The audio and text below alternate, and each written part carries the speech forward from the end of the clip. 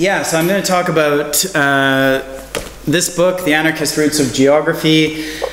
And I gave the same talk two nights ago in Ljubljana, and one of the questions afterwards, well, some one of the comments really, which was shared by a lot of people, uh, was, "Oh, that's not the talk I was expecting at all. I thought it was going to be about maps and cartography and and various sorts of." Uh, like concrete geographies of anarchism. And really, what I'm talking about here is uh, exactly as Marco said, like some of the theories and some of the ideas that we can work with in thinking of the connections between space or geography and anarchism.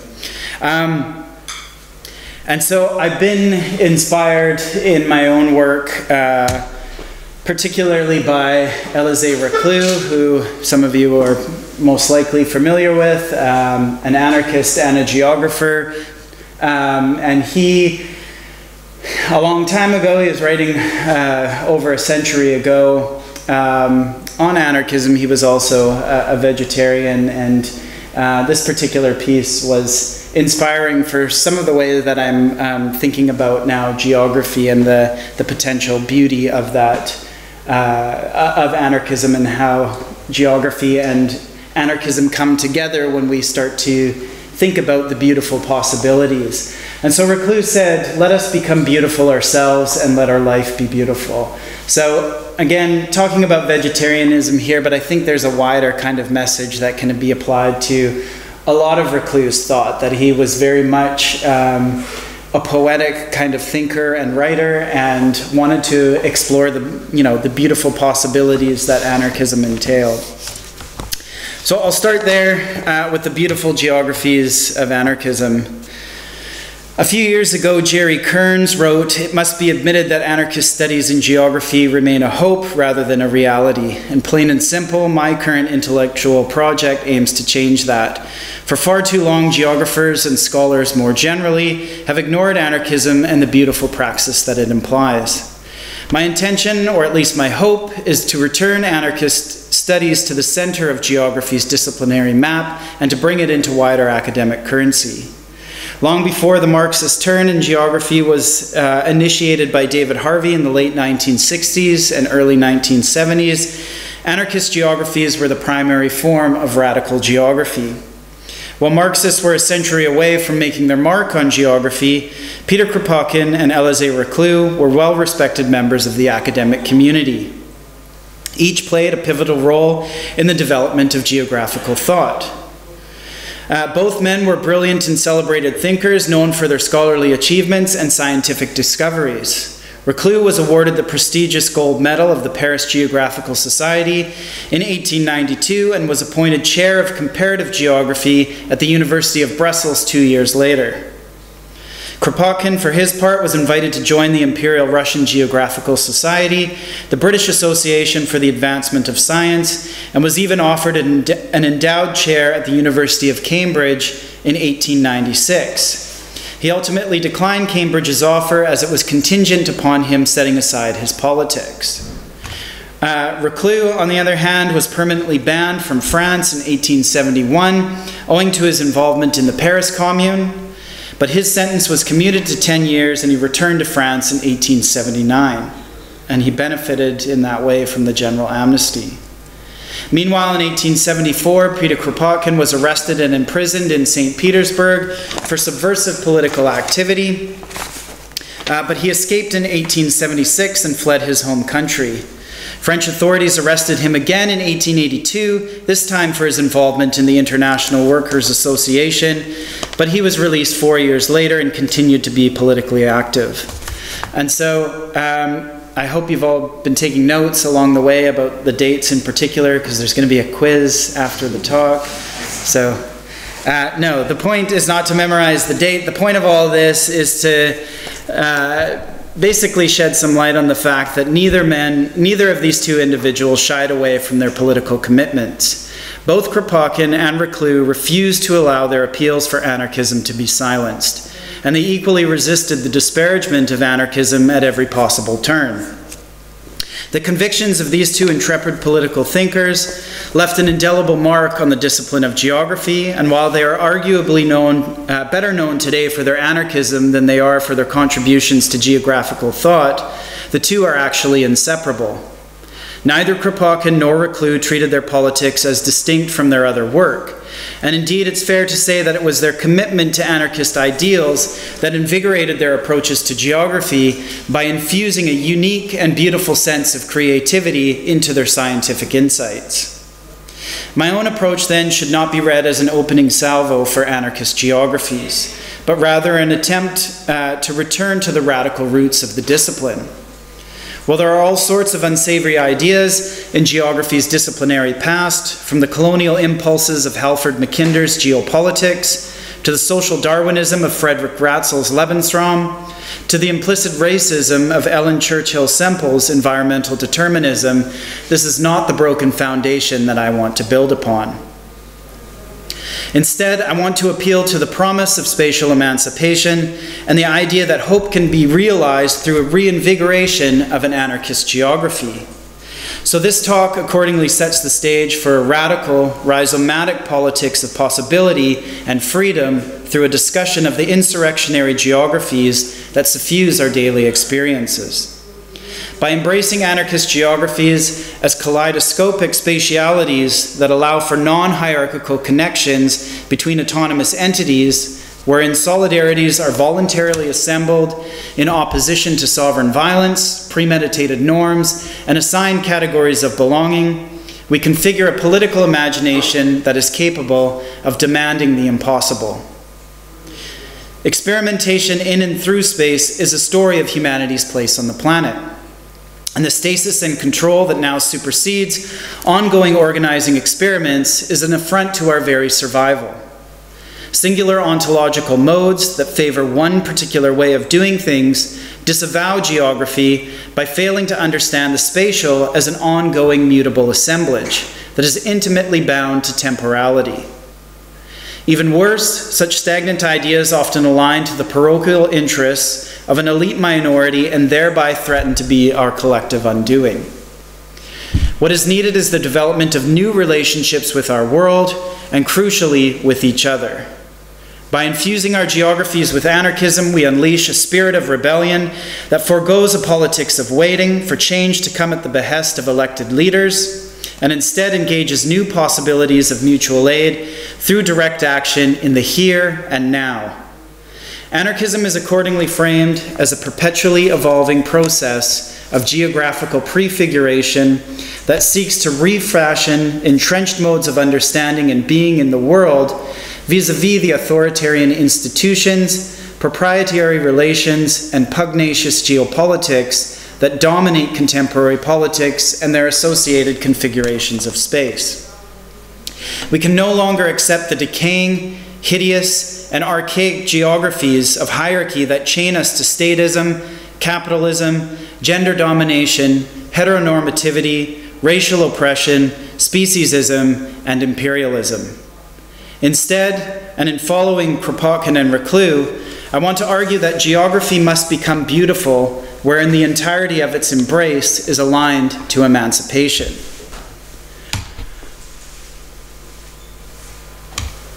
Uh oh, it's not going to work on me. Yeah. Oh, there we go. Okay. Um, so I want to talk about um, Reclus' idea of a universal geography and move this towards the idea of relational space, which is the way that uh, in the contemporary moment, many geographers are starting to think about connectivity um, and I've got a quote here from Kropotkin, The Spirit of Revolt. I'm not going to read the whole thing. You can skim through it as I'm speaking, I suppose. Uh, but the final part here, um, he talks about it, this idea that uh, as soon as it became apparent that the established order has not the force one had supposed, right?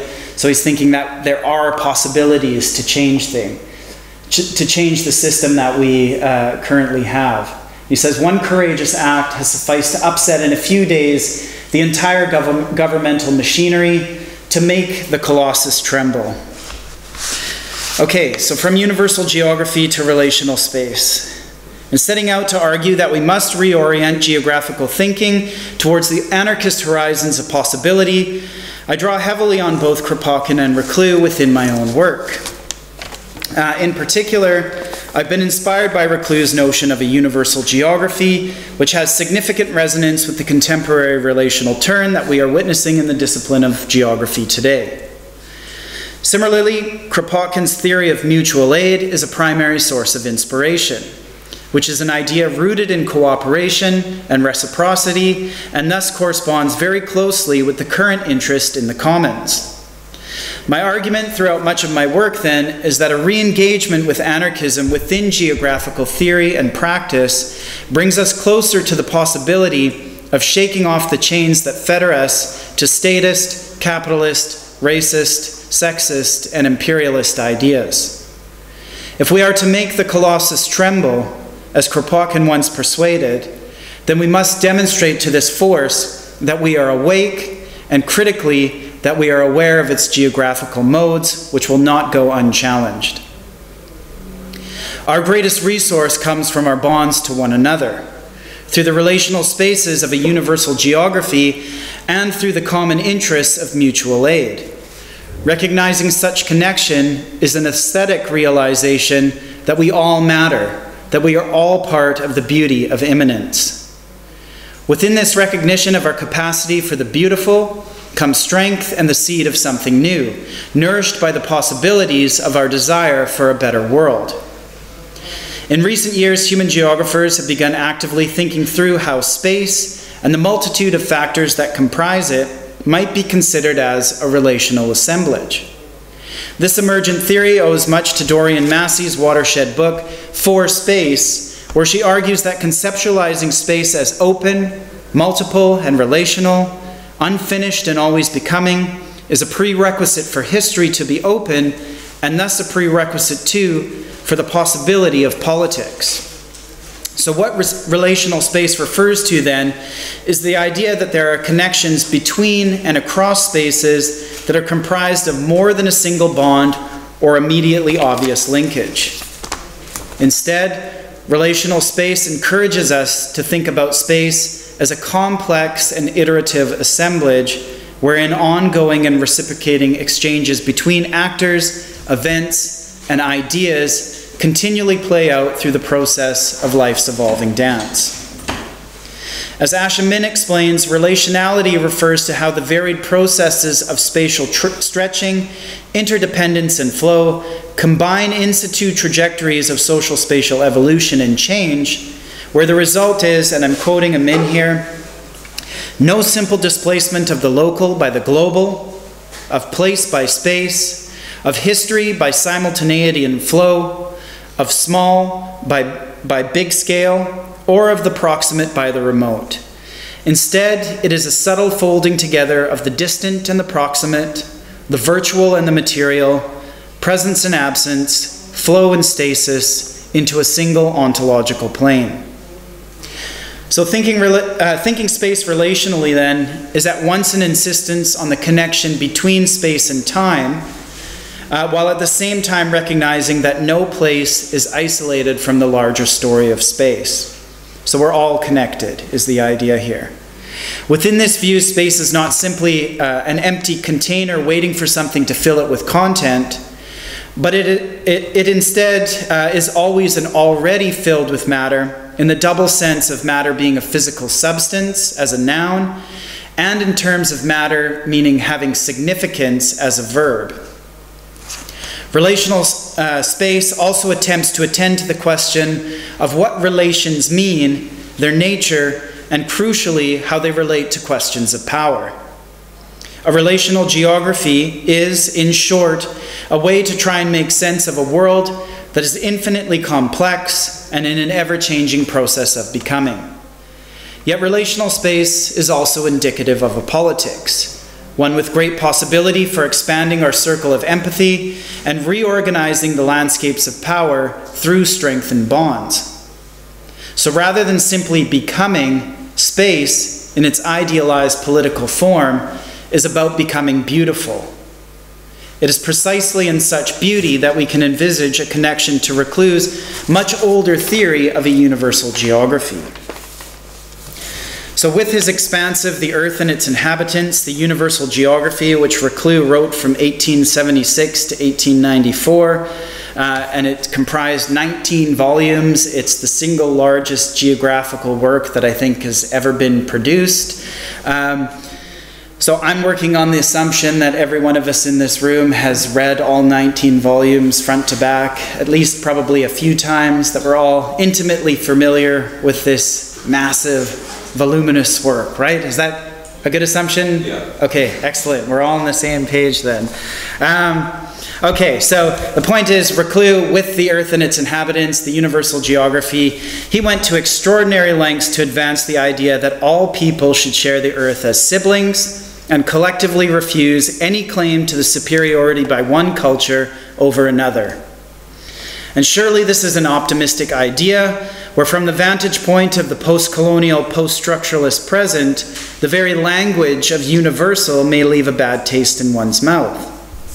Reclus thinking was undoubtedly set within the limits of a 19th century European philosophy, but as Federico Ferretti argues, Reclus universalism is not the affirmation of a necessary assimilation or a fixed evolutionary process. It is more an affirmation of his hope in the planetary diffusion of the principles of cooperation and free federation. Accordingly, it is important to view his work as an attempt to advance an alternative to the colonialist excuse me, and racist discourses that dominated European experience at the time. So, with Reclus, we can see an early iteration of a politics of possibility that looks to connection or relationality as its impetus. The language was different and far less nuanced than we can see within the current relational turn in geography, but the sentiment of drawing linkages across space to foster a broader empathetic horizon is largely the same. There are other parallels to be found with relational thinking as well, for Reclus was not just concerned with humans, but had an expanded view that emphasized our integral relationship with the environment that specifically sought to restore balance and equality between humans and the biosphere. Kropotkin endorsed similar ideas in his masterwork, Mutual Aid, a factor in evolution, where he looked to the symbiotic relations between peoples, plants, and animals as the enmeshment of humanity within the web of life. Both men therefore stood in stark contrast to a long history of Western thought that positioned humans at the apex of some imagined hierarchy, a stance that has deep resonance with the connectivity arguments coming out of geography's relational turn and other contemporary offshoots within the discipline, like theories of emotion and affect, hybrid geographies, and non representational theory. Reclus' geography was, of course, an anarchist one, and so he sought to spread awareness for the significance and viability of anarchist ideas, wherein his relational thinking was also manifest. He advocated for a decentralized version of power, wherein decision making was to be guided by voluntary association and radical democracy, rather than be a coercive preserve of the elite or a vacuous and apolitical process of voting. Extending beyond the local frame, he saw much virtue in the notion of free federation among communities, which demonstrates a relational connection between the situatedness of direct access to power um, and a broader sense of belonging in the world. Lost me here. Signal waiting. Uh, a broader sense of belonging in the world. Um, okay, to Reclus, anarchists should work to free themselves from imposed or preconceived ideas uh, by gradually surrounding themselves with those who choose to live and act in a similar fashion. He thus also hinted at what are today referred to in anarchist studies as prefigurative politics, which is a term that was coined by Carl Boggs to denote the forms of social relations and modes of organization that are being enacted in the present as a reflection of the future society being sought. In short, prefiguration is a collapsing of the means and ends that attempts to give form to our ideals by building a new society in the shell of the old right here and right now. For Reclus, such a politics became possible through what he called small, loving, and intelligent societies, which would eventually translate into the great fraternal society of the universal geography that he so desired. Reclus was thus also advancing the notion that personal and social transformations were intimately linked, which has been taken up in anarchist practice and theory through the notion of affinity groups, which come together out of shared interests and common goals. In other words, Reclus advanced a relational notion of the commons by employing a decidedly geographical imagination that envisioned a connection between the immediate context and the wider social frame. So, on that uh, note of the commons, if this will agree to move forward, there we go. Uh, I want to talk then about the idea of the commons itself and specifically reclaiming the commons as a form of mutual aid. So, connecting the idea of the commons then to uh, the way that Kropotkin was effectively thinking about the world. Um, this is a quote from the Collective Autonomy Research Group, which is a, a, an anarchist group in, uh, based in Ontario, Canada, uh, and a piece called The Anarchist Commons where they're saying the anarchist commons is more than just the sum of its parts. It is a deep seated political project, prefiguring a constantly evolving alternative political form based on principles of collective autonomy, self determination, and self organization, put into practice in the pleasure, work, everyday living, and activist organizing that make up all of our lives. So they're seeing it as uh, something that's, you know, very foundational to the way that we that most of us actually live in the world, even, even under capitalism. Okay, so reclaiming the commons as mutual aid. The idea of the commons refers to a communal sense of resources and land use, whereby communities and individuals share that which they collect, cultivate, and create. Put differently, resources and land are simply held in common. So, pretty straightforward. Prior to recorded human history, it is thought that the world existed in a state of a universal commons that lasted for tens of thousands of years. Indeed, the transformation of the symbiotic equilibrium, of the commons into the uneven capitalist relations we see today was only made possible by human claims to private property, a process known as enclosure or primitive accumulation. Processes of agrarian change have repeatedly seen people lose their self sufficiency by being pushed off their commonly held land and into wage labor. The entire structure of our relation to each other and our world has been dramatically transformed from cooperation to competition in the pursuit of capital, a process made possible by the state, which evolved in concert with capitalism as a means to entrench class privilege through the monopolization of violence. As Leo Tolstoy explained, and yes, it's that Leo Tolstoy, the same individual uh, who, wrote, who wrote a lot of very long novels. So, uh, I guess the second longest book ever produced, other than Reclus, War and Peace. And I'll work on the assumption we've all read that multiple times in multiple languages, right? Another good assumption? Yes? Okay. So uh, Tolstoy wasn't just a novelist, he was also a philosopher, and he was deeply inspired by anarchist thought. He never, today people talk about Tolstoy as a pacifist anarchist or a Christian anarchist, but Tolstoy himself, he never identified uh, as anarchist, but again, he was um, very engaged in anarchist debates and, and within uh, anarchist networks uh, during the time of his life. So, Tolstoy had this to say about property. He said, History shows that property and land did not arise from any wish to make the cultivator's tenure more secure, but resulted from the seizure of communal lands by conquerors and its distribution to those who served the conqueror. The fruit of their toil is unjustly and violently taken from the workers, and then the law steps in and these very articles, which have been taken from the workmen unjustly and by, and by violence, are declared to be the absolute property of those who have taken them. So, the connection then between property, law, the state, and capitalism. Okay, returning to Kropotkin and mutual aid, uh, with Kropotkin's, uh, or Kropotkin's general project with mutual aid, uh, and indeed the origin of, of this particular book, was to offer a rebuttal to the supposedly Darwinian ideas of survival of the fittest and all against all that underpin the very idea of capital accumulation, or supposedly. Uh, Kropotkin understood such arguments advanced by people like Thomas Henry Huxley, which he, he was referred to often as Darwin's bulldog. Um, but uh, in Kropotkin's view, Huxley had Darwin entirely wrong. He looked at that, uh, this interpretation of survival of the fittest as being a mischaracterization of Darwin's actual project, and he wanted to explicitly point out that evolution was characterized as much by cooperation between organisms and their environments as it was a direct struggle among individuals for limited resources. And Kropotkin said uh, that this was as true for biology as it was for politics. Okay, for Kropotkin, mutual aid was a form of organizing drawn from time immemorial, where involuntary reciprocal exchange was the norm.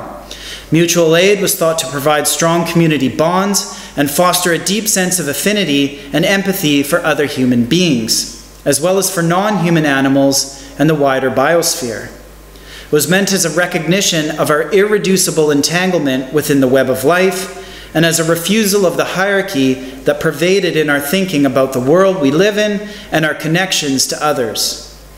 The relationship to the commons should be immediately evident, as a sense of something being held in common is only made possible via an appreciation for reciprocity and cooperation.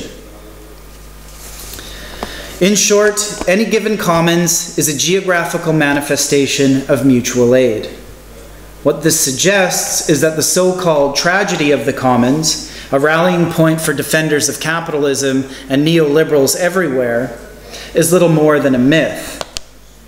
The refusal of this fabrication has gained significant traction in recent years, thanks in no small part to the work of Elinor Ostrom, who in 2009 won the Nobel Prize in Economics for her work.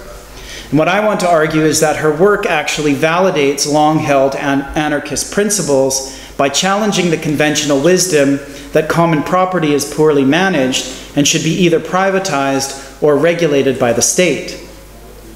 The tragedy of the commons, or the so called tragedy of the commons, which was first articulated by Garrett Hardin uh, in the late 1960s, is so often treated as an irrefutable justification for private property and the privatization of land. Yet there is no empirical basis to his argument, and nor was it informed by historical or current practice. Hardin, uh, who used a hypothetical example of cattle grazing, utterly failed to reflect the reality of the commons as a social institution and instead demonstrated that private ownership represents the heart of the actual problem. So, what he did is he failed to realize that his argument never considered cattle themselves as potentially being a commonly held resource in addition to land. And instead, he showed just how limited his own political imagination was as he positioned them as being already privately owned and indiscriminately grazing in a supposedly common, common field. So, what people, I mean, this is a, a, repeated myth, right? Neoliberals everywhere say this time and time again. Well, we need capitalism, we need markets because of the tragedy of the commons, on and on. I mean, this is since the 1960s, right? That, that Hardin first articulated this. What everyone seems to forget is that Hardin himself turned his back on his own argument. He disavowed what he wrote. He said, Yeah, I actually got it all wrong. There's no validity to what I've said here but nonetheless, nobody remembers that part. It's just the taken for grantedness of this discourse. It sound it rolls off the tongue, right? Tragedy of the commons for capitalists, anyways. But what Hardin actually demonstrated in this work uh, was the tragedy of capitalism. So very explicitly, if we if we analyze his argument a little deeper, it shows the tragedy of capitalism arising particularly through individual utility maximizing behavior, right?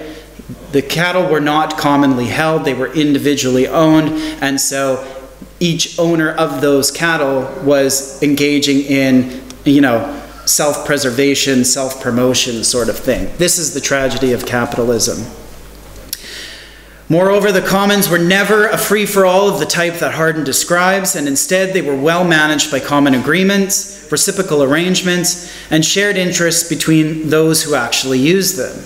So the commons were a living, breathing process. They were, they were something that were continually being negotiated. It wasn't cut and dry, oh yeah, they're just misused sort of thing. That was Hardin's assumption. So his entire argument was premised upon his ignorance of how the commons actually work.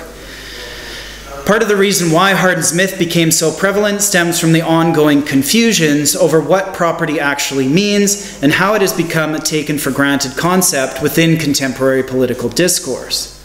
At the heart of anarchist thought is the distinction between, between property on the one hand and possession on the other, which was first outlined by Pierre Joseph, Pierre Joseph Proudhon uh, and he did so in his most well known work, uh, What is Property? which he answered rhetorically, Property is Theft.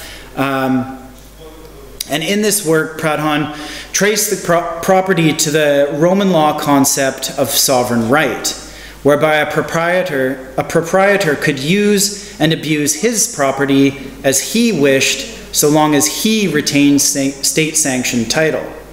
And so we can already see some of the problematics woven in uh, to property that it's very, uh, it's rooted in very gendered assumptions, right? This is not something that uh, Proudhon necessarily wove into his own critique. He was well known as being uh, quite sexist and misogynistic. Um, but we can take some of the interesting ideas that Proudhon had about property and nonetheless use them in contemporary anarchist thought. And this is, you know, Proudhon was the first person to enter, ever identify himself as an anarchist, but um, this is part of the reason why we are anarchists today and not Proudhonists, is that we can recognize, you know, we don't engage in the cult of personality the same way that Marxists do, but we can also recognize that many of, uh, of the individuals in the past who contributed useful ideas to anarchist theory also held some uh, problematic ideas that are are and should be open to critique in the present moment. Okay, in any event, property in Proudhon's reading uh, was a juridico institutional means for exploitation, and he viewed it as an affront to the liberty, equality, and security of the community. In short, property represented a categorical threat to the commons. Hopefully, we can get this back here. Uh, Proudhon contrasted the supposedly God given sovereign right of property with possession, which he understood as a practice of actual use that therefore could not be mobilized for exploitation. So, as an example, a house that one lives in uh, can be regarded as a possession because it's premised upon actual use, while a house that is rented out becomes a means for exploiting others and can be thus considered as property, right? Within property, we see a means for exploitation. Possession, there is no such exploitation going on. The commons is similarly rooted in actual use rather than sovereign right, and is thus similarly considered as a possession, where the only difference is that it is communally rather than individually used. So while property attempts to mobilize the means of production as a natural sovereign right of an individual or proprietor, Proudhon argued that this was an illegitimate form of use, and he considered it as a form of theft from the commons. This is not to say that a means of production should not exist, which is of course impossible, but rather that such means should not belong to a sovereign proprietor as a so called natural right. Instead, Everyone connected to the said means of production should share in the bounty and surpluses it produces as a commons. Property is fundamentally at odds with the notion of the commons insofar as it relies on coercion, exclusion, hierarchy, and most notably enforcement or law to maintain its viability.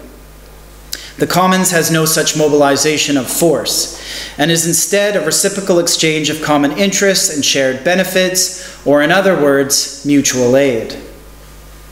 Property is a relation of domination, and this is an understanding that I have advanced in some of my other work, particularly uh, in the context of Cambodia. A lot of my empirical work uh, is working with um, communities that have been either threatened with or subjected to forced evictions. Um, and what I've come to appreciate in the course of that work is that, uh, you know, as a property system is rolled out across Cambodia, we can see the violence that is inherently embedded into this creation of property. So it's never pleasant the way that uh, people's possessions, that is their, their actual use, right? The idea of actual use, the way that is robbed from them through brute, uh, brute force and vi the violence of the state. Okay, so I want to argue that property is not just theft, as, as Proudhon wanted to say. I'm wanting to say that property is violence, uh, a distinct form of violence.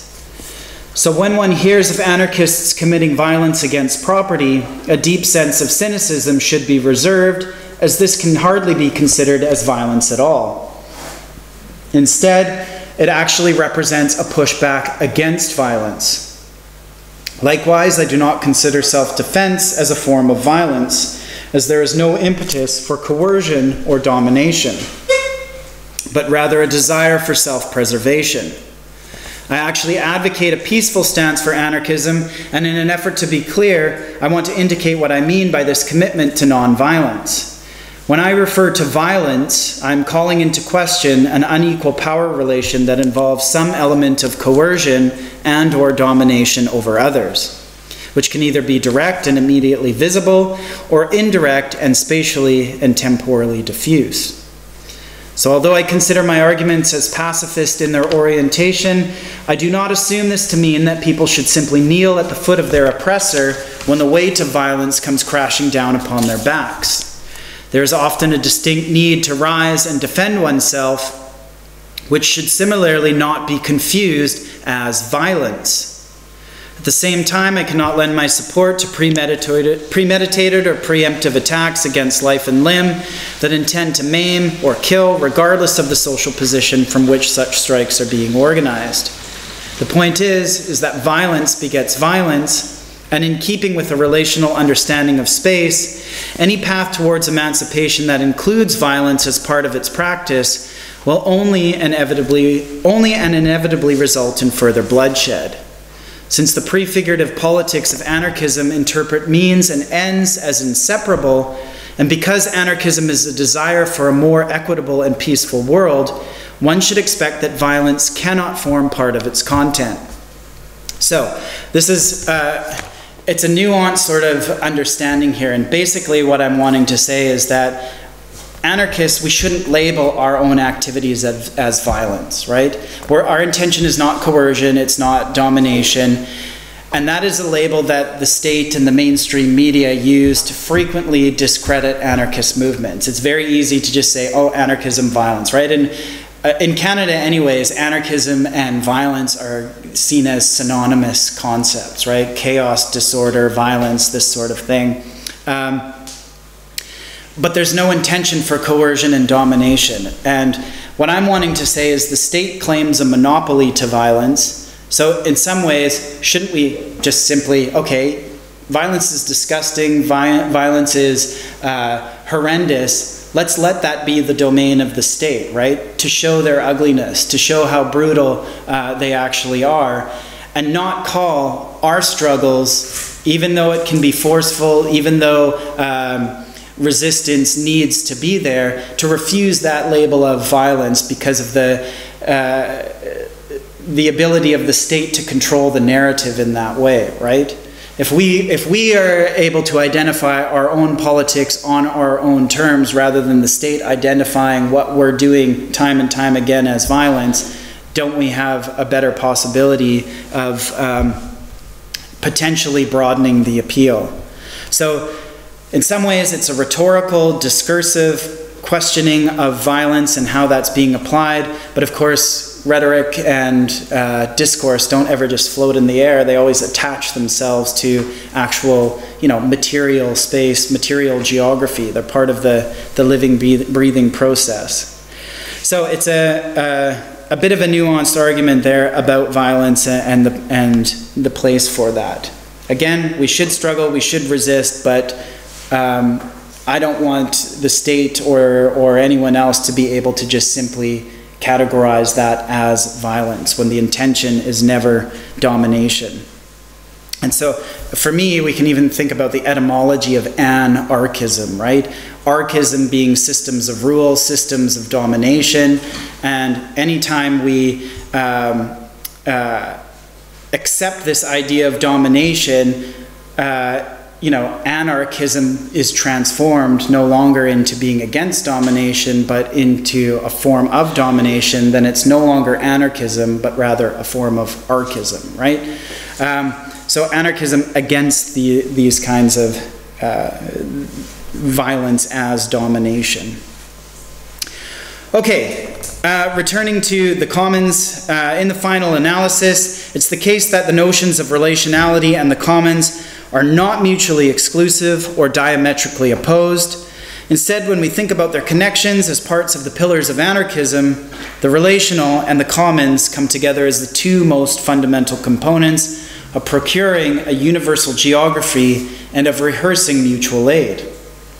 The anarchist notion of voluntary association further speaks to the relational connections across space and between various actors with shared interests. Such affinities, which are built through relational connections, are manifested as direct action in the hope of claiming space as common.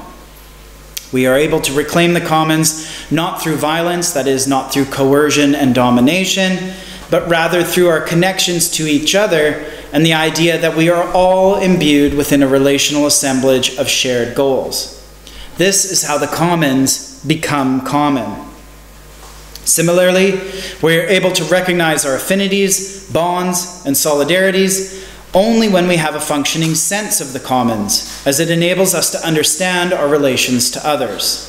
This synergy is why the struggle over space is so vitally important to convening a new and beautiful politics in our world, and it goes some way towards explaining why anarchism and geography make such good bedfellows. The idea of the commons and the theory of, uh, and the theory of relational space work in tune with one another as an iterative process of empowerment and collectivity.